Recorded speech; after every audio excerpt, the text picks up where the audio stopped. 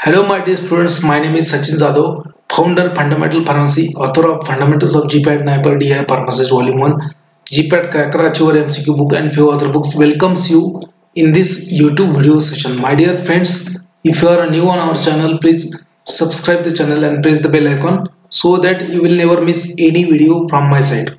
My dear students, if you are preparing for GPAT NIPER 2023 Drug Inspector Government Pharmacist exam, then this video is very very important knowledge oriented for you. It's my request to you please watch this video completely. So my dear students in this session we are going to see knowledge booster dose part 8 that means we have already completed seven videos on the series knowledge booster dose. So in today's booster dose we are going to see drug of choice for certain diseases which is very very important part again.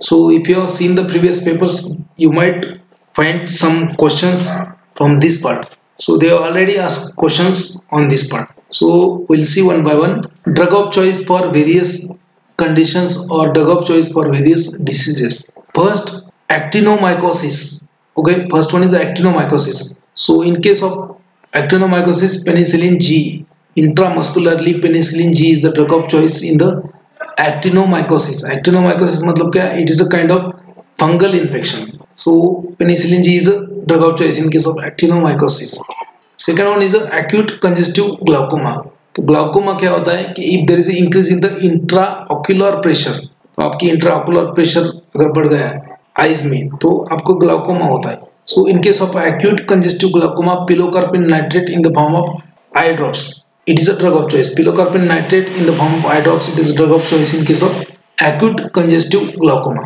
third one is acute left ventricular failure so in this case अगर आपका left ventricle fail होता है heart में so in that case morphine intravenously is a drug of choice in case of acute left ventricular failure याद रखो question आ चुके हैं इन सब के ऊपर। Acute severe asthma so aminophylline is a aminophylline is a aminophylline is a beta 2 agonist okay bronchodilator होता है ये aminophylline so it is used as a drug of choice in case of acute severe asthma acute severe asthma हो गए तो aminophylline intravenously देते हैं, या फिर सल्ब्यूटामॉल देते हैं बाय इनहेलेशन अल्कोहल एडिक्शन के लिए drug of choice for alcohol addiction is nothing but the disulfiram disulfiram जो होता है, ये जो ड्रग है, उसको बोलते हैं Antabuse so disulfiram is known as Antabuse and it is used to deaddict the alcohol addict deaddiction के लिए अल्कोहल का यूज़ करते हैं disulfiram it is a aldehyde dehydrogenase inhibitor remember इसका मैकेनिज्म होता है aldehyde dehydrogenase inhibitor disulfiram alcohol addiction ठीक है? तो इसमें याद रखो अल्कोहल एडिक्शन में ड्रग ऑफ़ चॉइस कौन सा है? डाइसल्फ्यूराम इसके इसके इसके पीछे बहुत सा अच्छा स्टोरी है। अगर वो बोला आपको तो टाइम लग जाएगा। Now, drug of choice in amoebiasis. Drug of choice in case of amoebiasis is a metronidazole. Metronidazole orally drug of choice drug of choice for amoebic liver abscess अगर लीवर में अगर आपके जख्म हो गया, वहाँ पे एब्सेस हो गया because of the amoeba infection so amoebic liver abscess again metronidazole is a drug of choice emetine is also there chloroquine is also there drug of choice for anaphylaxis already question आ चुका है. Drug of choice in anaphylactic shock that is adrenaline adrenaline is a drug of choice in anaphylactic shock याद रखो उसको in case of asthma salbutamol inhalation is drug of choice और अमोनोफाइलिन इंटरवेनसली asthma में या फिर acute asthma में aminophylline IV देते हैं या फिर सल्बिटामॉल का दे सकते हैं तो inhalation drug of choice in case of belladonna poisoning that is a physostigmine okay? Intravenously physostigmine देते हैं in case of belladonna poisoning. So, remember atropine and physostigmine they are a pharmacological so atropine and physostigmine they are a pharmacological antagonist याद रखो इसको और drug of choice in case of brucellosis so drug of choice in case of brucellosis is nothing but the tetracycline tetracycline को क्या करेंगे drug of choice है brucellosis tetracycline now in case of in case of Burkitt lymphoma Burkitt's lymphoma cyclophosphamide is an anti-cancer drug. So that is a drug of choice in Burkitt's lymphoma. Lymphoma मतलब cancer of lymph gland. So orally cyclophosphamide is a drug of choice in case of Burkitt's lymphoma. Campylobacter enteritis. In case of Campylobacter enteritis. Enteritis मतलब infection of intestine. So enteritis मतलब क्या infection of intestine so campylobacter की वजह से जो infection होता है उसको बोलते हैं campylobacter enteritis so in that case fluoroquinolones DNA kinase inhibitors or fluoroquinolones they are drug of choice in case of Campylobacter enteritis. In case of chlamydial infection, tetracycline are the drug of choice orally. In case of carcinoid syndrome, cotrimazole orally is a drug of choice. In case of cankeroid infection, cotrimazole in in oral is a drug of choice. Cotrimazole orally is a drug of choice in case of cankeroid. Now, in case of congestive cardiac failure, digoxin orally is a drug of choice. Digoxin is a drug of choice in case of CHF, congestive heart failure. Chronic congestive glaucoma, pilocarpine of choice in case of chronic congestive glaucoma. Acute में भी और chronic में भी pilocarpine drug of choice है. Drug of choice for chronic gout. Gout मतलब क्या?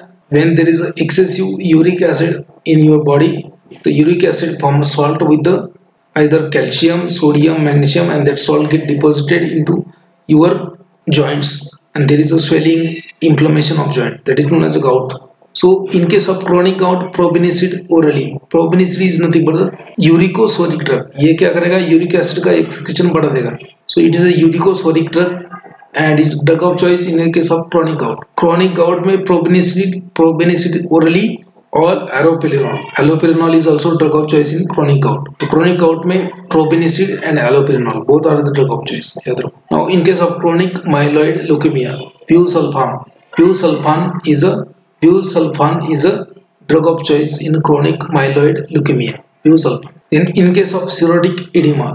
Cirrhotic edema मतलब liver का सिरोसिस होने के बाद में oedema in case of cirrhotic oedema spironolactone is a drug of choice oedema मतलब इडिमा मतलब retention of fluid in the body ठीक है? अगर आपके बॉडी में रिटेंशन हो गया फ्लूइड का आपको सूजन हो जाएगा.